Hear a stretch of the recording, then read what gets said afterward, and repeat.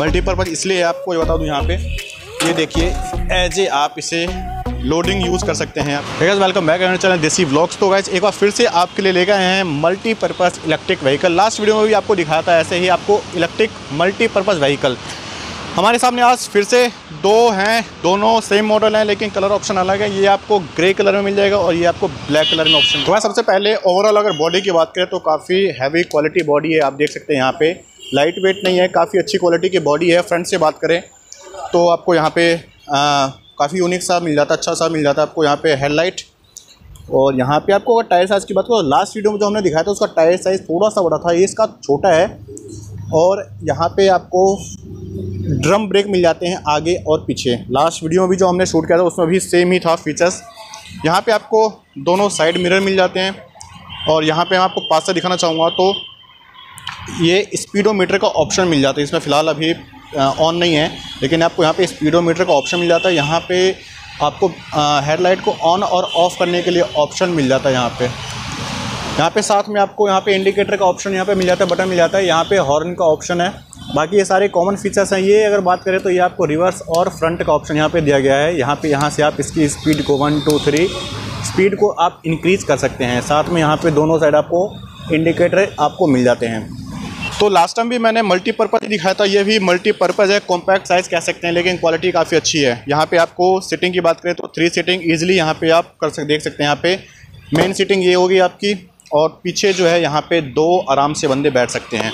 Multipurpose इसलिए आपको ये बता दूँ यहाँ पर ये देखिए एज ए आप इसे लोडिंग यूज़ कर सकते हैं, आप कुछ भी इसमें सामान वामान रख के जो है इसे कैरी कर सकते हैं। तो एज ए आप इसे लोड लोडिंग यूज़ कर सकते हैं। पीछे आप यहाँ पे देख सकते हैं, यहाँ पे जो आपको का यहाँ पे आपको जो है बास्केट मिल जाता है। ये भी, इसकी क्वालिटी भी काफ़ी अच्छी है। ये नहीं कि लो क्वालिटी है, काफ़ी अच्छी क्वालिटी आपको मिल जाती है। पीछे भी आपको ड्रम ब्रेक मिल जाते हैं। कुछ भी सामान आप अच्छा खासा सामान आप इसमें आप रख के जो है इसे कैरी कर सकते हैं।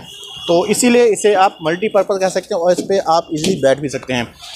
बैटरी के लिए ऑप्शन मैं आपको दिखाता हूँ यहाँ पे। तो यहाँ से आप बैटरी देख सकते हैं। यहाँ पे आप बैटरी को ऐड ऑन भी कर सकते हैं। आपको जितनी रिक्वायरमेंट है, जितनी आपको किलोमीटर रनिंग चाहिए, उसी हिसाब से आप यहाँ पे बैटरी ऐड ऑन करा सकते हैं आप। इसमें आप चाहे लिथियम या तो आप फिर लेड एसिड बैटरी यूज़ कर सकते हैं। मेन थिंग्स ये है कि इसमें चार्जिंग टाइम कितना है स्पीड कितनी है, कितना चलती है तो चार्जिंग नॉर्मली छः से सात घंटे लग जाते हैं इसे चार्ज करने में। एक बार चार्ज करने पर ये अराउंड 50 किलोमीटर चलती है, लेकिन ये ओवरऑल डिपेंड है आपकी बैटरी कैपेसिटी को लेकर। आप इसमें अगर बैटरी ऐड ऑन कराते हो तो ये 100 किलोमीटर, सवा सौ किलोमीटर, डेढ़ सौ किलोमीटर तक भी चल जाती है। बैटरी डबल करवाते हैं बैटरी आप लिथियम यूज़ करते हैं। कैपेसिटी इसकी ऐसी आप बढ़ाएँगे, वैसे आपकी जो रनिंग है, वो इंक्रीज हो जाएगी स्पीड की बात करें तो थर्टी किलोमीटर पर आवर की इसकी स्पीड मैक्सिमम स्पीड है। वही डिपेंड करता है ओवरऑल आपका वेट पे। अगर वेट कम है तो आपकी स्पीड जो है, वो भी इंक्रीज हो सकती है। बाकी अगर ये इस मॉडल की बात करें तो मॉडल दोनों सेम ही है, लेकिन कलर ऑप्शन जो है दोनों के मॉडल सेम है कलर ऑप्शन अलग मिल जाते हैं आपको दोनों में। इसमें भी सेम फीचर्स है, सब कुछ सेम है।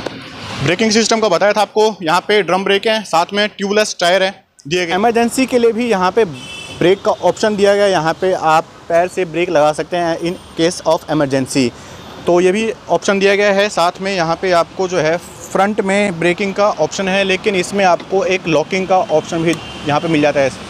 कहीं अगर ढलान हो, ऐसी जगह हो जहाँ पे चाहिए तो यहाँ पे आपको ब्रेक पुश करके जो है आप इसे एज ए हैंड ब्रेक ऐसे ही आप यूज़ कर सकते हैं।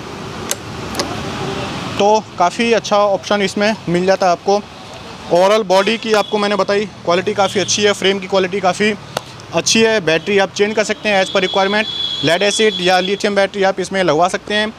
तो मेन बात अब ये है कि इसका प्राइस रेंज क्या होने वाला है? तो इसका जो प्राइस रेंज होने वाला है, वो सेवेंटी फाइव थाउज़ेंड के अराउंड होने वाला है।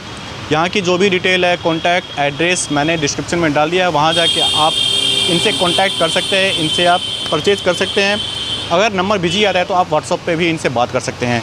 तो फ़िलहाल इस वीडियो में आपको हमने ये सेम मॉडल के दो कलर ऑप्शन दिखाए हैं। आप कह सकते हैं मल्टीपर्पज़ इलेक्ट्रिक व्हीकल्स तो आपको वीडियो अच्छी लगी हो तो वीडियो को शेयर करें लाइक करें और अगर आपने अभी तक चैनल को सब्सक्राइब नहीं किया तो चैनल को सब्सक्राइब ज़रूर करें ताकि आपको नेक्स्ट वीडियो जो आने वाली है वो आपको टाइम पर मिल सके।